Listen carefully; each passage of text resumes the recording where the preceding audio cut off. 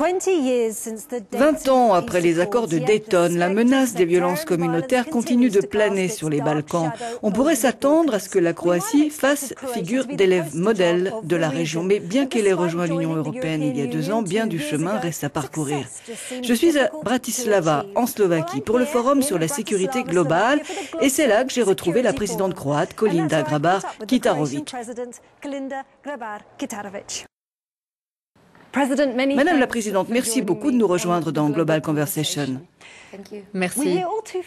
On entend souvent dire que les Balkans sont tout près de retourner à la violence interethnique. Nous en sommes vraiment prêts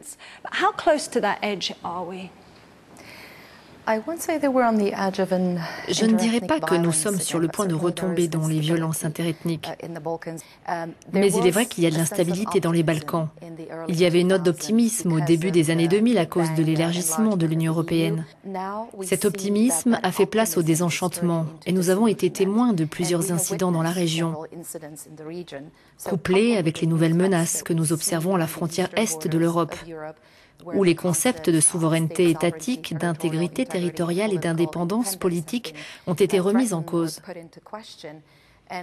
Il faut y ajouter l'instabilité dans la région méditerranéenne et les conflits en Syrie, en Irak et ailleurs. Les migrations illégales et le retour des combattants du groupe État islamique en Syrie et en Irak qui compliquent tout l'environnement sécuritaire du sud-est de l'Europe.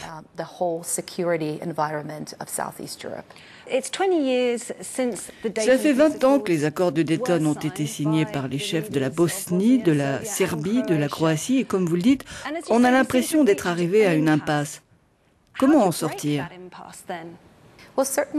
eh bien, l'Union européenne et l'OTAN doivent envoyer des messages très fermes à la région. D'abord, cet élargissement reste une politique de la porte ouverte. Il ne s'agit pas de proposer des objectifs qui varient ou qui sont hors d'atteinte, mais de proposer un travail et des efforts pour remplir des critères d'adhésion avec les réformes nécessaires à mener et les progrès que vous réalisez à l'intérieur qui pourront être récompensés par des étapes vers l'adhésion à l'Union européenne et à l'OTAN. Par exemple, je crois qu'il est crucial pour la région que le Monténégro reçoive une invitation à rejoindre l'OTAN cette année. Ce serait un message fort pour le Monténégro, mais aussi pour toute la région. Cela montrerait que le processus continue, mais aussi que vous devez faire des efforts nécessaires pour progresser.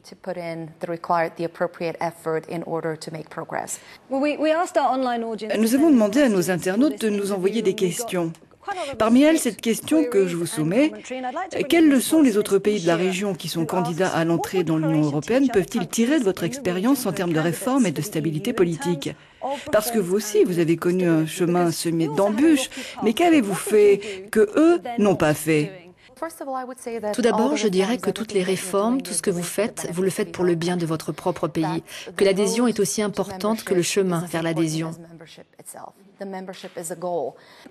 Pouvez-vous identifier quelque chose qui devrait se passer et qui ne se passe pas? Je voudrais voir plus d'efforts sur la prévention contre le crime organisé, la coopération, la sécurité, mais aussi un combat plus vigoureux contre la corruption, pour la liberté des médias, les systèmes démocratiques, le contrôle du secteur du renseignement conformément à la loi.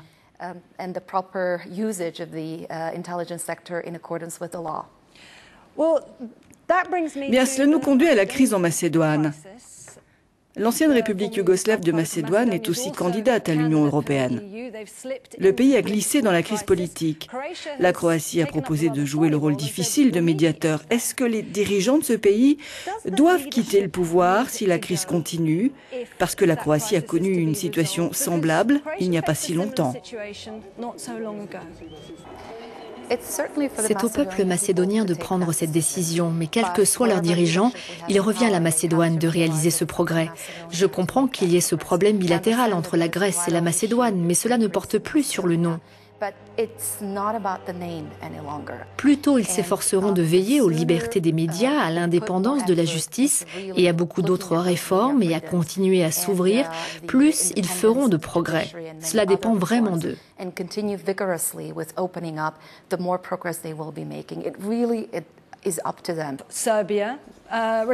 La Serbie, les relations avec la Serbie se sont améliorées, mais elles restent encore très tendues. Et je parlais encore le mois dernier avec le Premier ministre, Alexander Vucic, qui évoquait l'opération Tempête, qui pour les Serbes est une tragédie nationale, qu'il considère comme du nettoyage ethnique.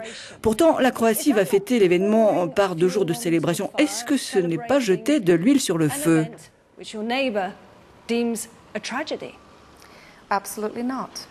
Absolument pas. C'était une opération très claire pour libérer les territoires qui étaient sous occupation de façon illégale. La Croatie a été attaquée, nous avons été agressés et environ un tiers de notre territoire a été occupé. Nous avons entrepris une uh, action légitime qui a été reconnue comme telle plus tard par le tribunal de la Haye. Ça ne vous inquiète pas que... Bien sûr, nous sommes préoccupés par notre relation avec la Serbie, mais la Serbie doit aussi accepter les faits. Nous avons tous le droit d'avoir notre propre opinion, mais nous n'avons pas le droit de tordre les faits. Les faits, c'est que nous nous défendions et que nous avons repris le contrôle de notre propre territoire. Nous ne pouvons pas abandonner ce qui est notre héritage national et ce qui n'est entrepris contre personne en particulier. Nous ne faisons que fêter cela.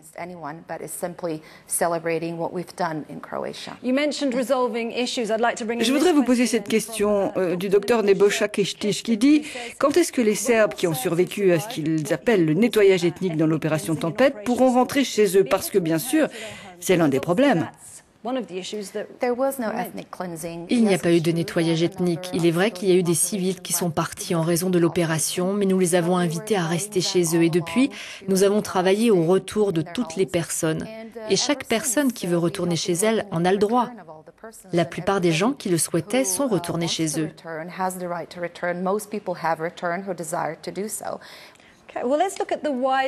Venons-en à présent à, l'Europe de façon plus large et à la question de l'immigration, qui est un vrai problème pour l'Europe qui ne sait pas comment faire face. Quelle est la position de la Croatie sur le système de quotas proposé par la Commission européenne uh, notre position, c'est que nous devons considérer le problème de l'immigration et des demandeurs d'asile d'une manière globale et complète. Il est vrai que nous prenons ces mesures qui sont temporaires avec les quotas et avec des ajustements pour les personnes qui vivent dans l'Union européenne. Mais nous devons faire attention aux messages que nous envoyons. Bien sûr, nous accepterons des gens, mais nous ne pouvons pas encourager d'autres migrations illégales vers l'Union européenne. Il faut aussi s'attaquer à la racine du problème et aux autres dangers qui y sont liés. Quelle est votre réaction quand vous entendez la Hongrie dire qu'elle veut fermer sa frontière avec vous pour arrêter le flux de migrants arrivant dans le pays? Je ne veux pas parler de la politique d'un autre pays. Um, Ce que je peux dire à coup sûr, c'est que la Croatie n'a pas l'intention de construire des murs. Nous voyons que ce problème devient de plus en plus important pour l'Union européenne. Donc vous vous opposez à la construction d'un mur par la Hongrie Je pense que nous avons besoin de solidarité. Nous ne pouvons pas laisser l'Italie et quelques autres pays porter seuls la charge de ce problème. Mais encore une fois, il nous faut une approche globale de la question. J'ai reçu cette question de quelqu'un qui se fait appeler Primalex et qui dit une question simple pour une réponse compliquée. Diriez-vous que vous allez mieux maintenant que vous êtes dans l'Union européenne? C'est encore difficile à dire. Je dois dire que le fait que nous soyons membres de l'Union européenne n'est pas encore bien installé dans les esprits. Et malheureusement, nous n'avons pas encore utilisé les fonds européens à hauteur de ce que nous aurions pu. Donc l'un des premiers bénéfices qui pouvaient être ressentis à court terme ne s'est pas encore fait sentir. Je dirais que l'opinion en Croatie devient plus eurosceptique et nous devons réagir. Il y a de quoi être inquiet pour l'ensemble du projet européen au-delà de la seule Croatie. Je vois ça dans tous les pays de l'Union européenne. Les gens s'interrogent sur les bénéfices à retirer du fait d'être membre de l'Union. Quand vous avez rejoint l'Union européenne, la lutte contre la corruption était bien sûr l'un des grands enjeux. Et ça l'est toujours. Justement, où en est la Croatie sur ce plan Je dirais que nous avons fait beaucoup de progrès. Malheureusement, dans n'importe quel pays, il est toujours difficile d'éradiquer complètement la corruption. Mais nous travaillons pour la combattre et pour avoir un système dissuasif adéquat. Nous formons les gens pour qu'ils se rendent compte que des pratiques jugées socialement acceptables par le passé sont en fait des formes de corruption. Mais la réalité sur le terrain, je lisais justement un rapport d'Ernst Young qui classe la Croatie en numéro 1 en termes d'indice de perception de la corruption, en termes de pratiques commerciales. Donc, vous pouvez dire que des lois ont été votées, que les choses ont changé, mais les gens ne le remarquent pas. C'est vrai, mais je pense que les indices de perception, c'est un peu comme la violence domestique. Aujourd'hui, beaucoup plus de gens se plaignent de violences domestiques.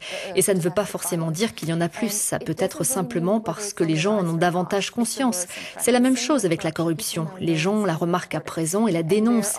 Et il y a une conscience beaucoup plus aiguë à ce sujet. Je pense que les affaires au sommet ont créé cette image.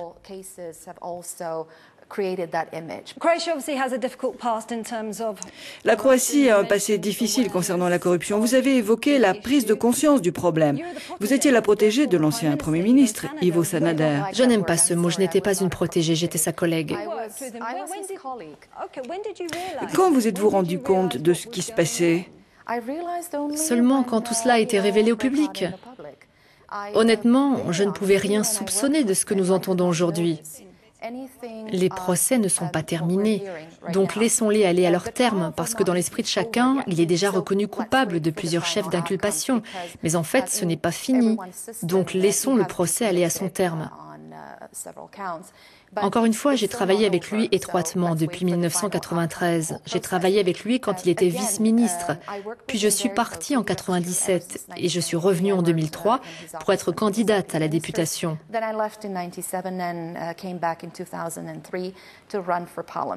Nous avons eu des désaccords assez vite. Ce n'était pas à cause de la corruption parce que, encore une fois, je n'avais rien remarqué. Mais nous avions simplement des points de vue divergents sur certains sujets. Je n'aime pas parler de cela en public parce qu'il s'agit d'un désaccord entre nous. J'espère qu'un jour j'aurai l'occasion de parler de cela avec lui. La croissance économique en Croatie s'est faite difficilement. La corruption et la croissance n'allont pas nécessairement de pair, mais la Croatie semble se sortir de six ans de récession. Le gouvernement estime que c'est grâce à son dur travail et à ses efforts. Quelle est votre position? C'est une année d'élection en Croatie, donc comme dans n'importe quel pays, c'est une année difficile pour continuer les réformes.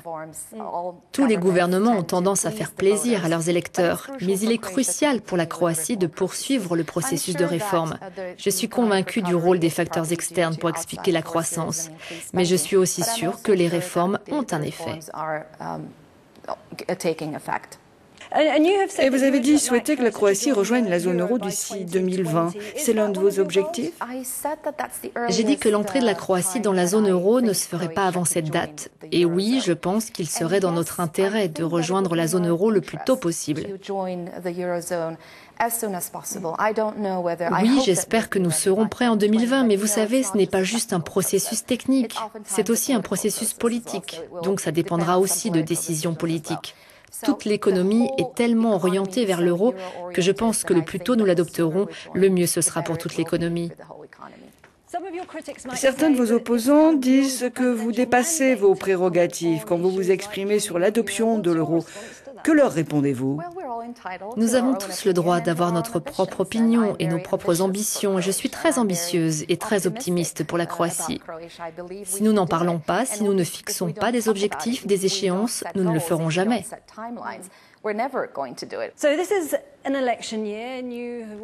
C'est donc une année électorale et vous venez vous-même d'être élu. Il y a eu une période inconfortable de cohabitation avec un gouvernement du bord opposé politiquement. Il y a eu des combats au sommet. Est-ce que vous le regrettez? Je le regrette parce que je ne pense pas que l'heure soit aux combats politiciens ou aux divisions sur nos grands objectifs nationaux. Je pense que nous devrions vraiment nous mettre d'accord sur ces objectifs et continuer à travailler pour y parvenir. Il est vrai que parfois vous êtes amené à prendre position sur ce à quoi vous croyez. Vous devez protéger l'institution présidentielle et vous devez faire ce qu'il faut. Cependant, j'espère que ça a juste été une période d'apprentissage et que nous allons aller à l'avenir vers plus de coopération. Un autre internaute, Terry Kilpatrick, vous demande quelle est la principale menace à la croissance économique et à la stabilité de la Croatie? La démographie, les tendances démographiques négatives. Avec les marchés et l'ouverture de l'Union européenne aux travailleurs croates, beaucoup de jeunes quittent la Croatie. La Commission européenne a estimé qu'environ 200 000 Croates quitteront le pays d'ici 2019. Et nous sommes un pays de 4 300 000 habitants. Et ce sont les meilleurs éléments qui ont tendance à partir Les meilleurs éléments et les jeunes. Nous avons des tendances démographiques. Nous vieillissons, notre main-d'œuvre diminue.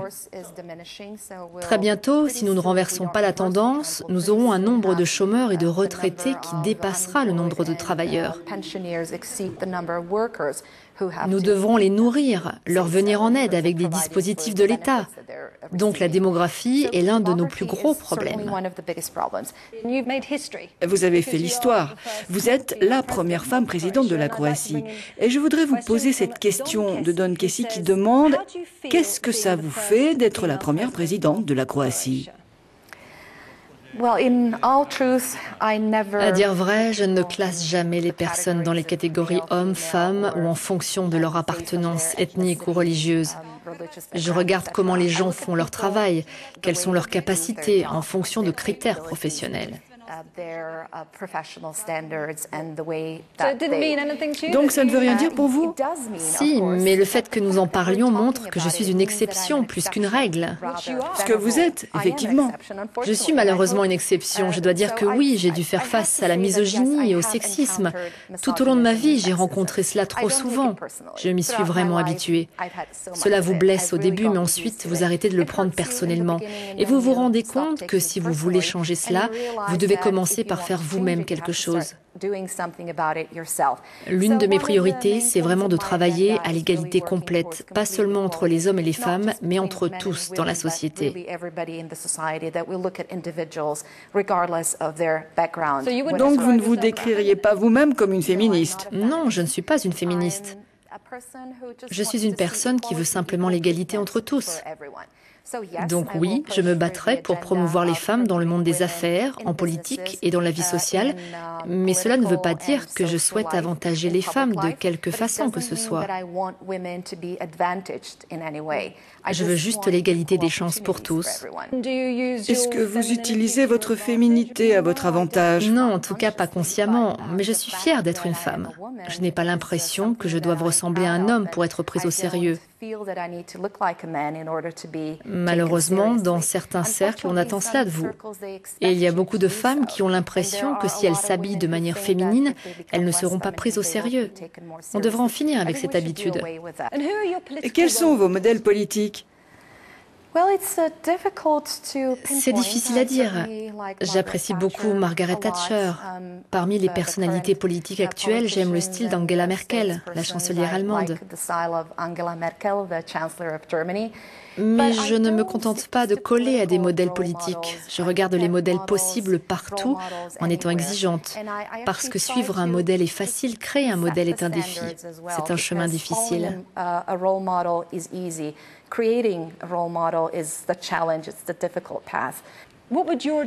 Quel conseil donneriez-vous à des femmes qui essaient de briser le plafond de verre comme vous l'avez fait? si je peux le faire, vous le pouvez. Tout le monde peut y arriver. Il faut juste croire en soi-même. C'est vrai que parfois c'est beaucoup plus dur que pour des hommes, mais ne vous laissez pas distraire par ceux qui disent que vous ne pouvez pas le faire parce que vous êtes une femme et qu'une femme n'a jamais atteint une telle place. Il y a toujours une première fois. Pourquoi ne serait-ce pas vous? President, many thanks for joining me on the global conversation. Thank you. Thank you very much.